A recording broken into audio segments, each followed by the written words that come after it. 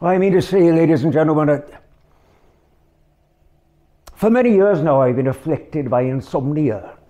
Doesn't matter what time I go to bed, whether it be early or late. I hardly ever get a wink of shut eye. Well, the night, what I'm going to tell you all about now, no different. Although I tell a lie, there was something rather different. I don't know what to do. I'm only a poor signalman. Why did he warn me about, about the crash before he didn't tell me what I could do to stop it? Uh, what about that woman? Why bother telling me if he didn't tell me how I could help? Oi, driver, couldn't you at least have done something? Couldn't you have cried out? Well, of course, ladies and gentlemen, he did cry out, didn't he?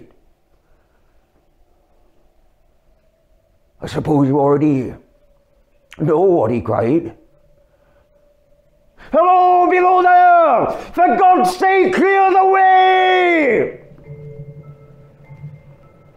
This has been Victorian Gothic, brought to you by Don't Go Into the Cellar, Victorian theatre with bite. And as for all of you, you've been absolutely wonderful. Thank you. And until next year when we return, chance when we'll all be reunited again for one night only, you must allow me to bid each and every one of you good night.